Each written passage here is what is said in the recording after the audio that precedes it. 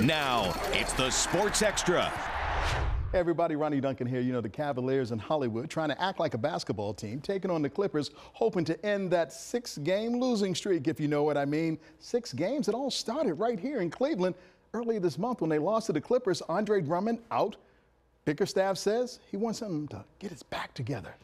Well, I tell you what, this is how it all starts. Cavs took the lead because Kawhi Leonard and Paul George were not there. Isaac Okoro 4-2 Cavs early. Oh, I'm feeling good. Elizabeth, I might come home to join you. Then the Nets took an 11-9 lead. Watch this slick move by Lou Williams. Uh-oh, 13-11, sweet Lou again.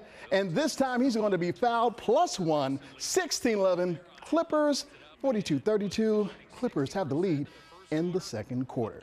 Now on the college hoops, Michigan and Wisconsin this afternoon. Wolverines, first time in 23 games. You know the COVID restriction thing? Well, anyway, they were down 14, but then Isaiah Livers doing his thing.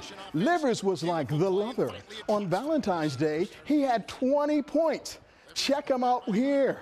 He made the nice move there, and then he gets a little help with some really good passing. And you know what?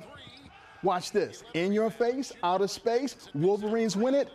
67 to 59. All right, so you're a football fan. NFL fans have survived the first Sunday without football. That's right, the Super Bowl was last week. But you know what? What's coming up big?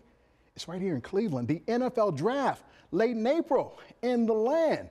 Now, it went virtual a season ago in Las Vegas. The question was was the experience going to be like Nashville in 2019? Well, David Gilbert of the Greater Cleveland Sports Commission gives his thoughts on the idea. The reality during the pandemic is having people um, elbow to elbow and shoulder to shoulder, you know, w- with 100,000 or more people at any one time isn't in the cards. There still is room for a large live event that can still be socially distanced, can still be safe for people, um, and still provide a, a, a lot of the experience that Nashville did. Let's see what happens with that. You know, Laura's Home. It is a place for women, a crisis center, part of the city mission.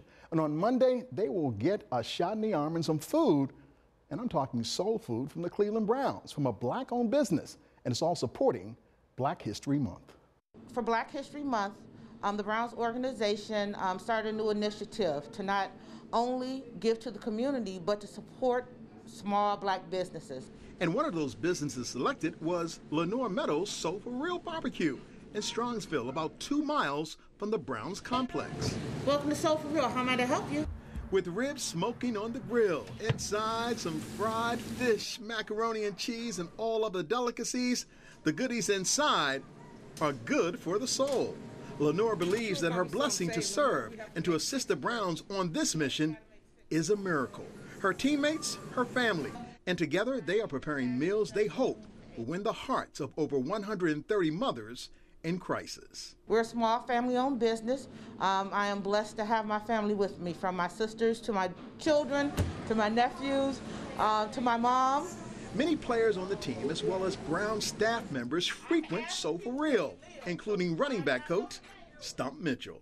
And all of a sudden, we got in different coaches from Coach Stump to um, EXO. Uh, we've had a few of the players also here um, that come in to get a hot meal, and I think Stump's favorite is the catfish. Hey, hey, yummy, yummy for your tummy. Three, two, one, I'm done.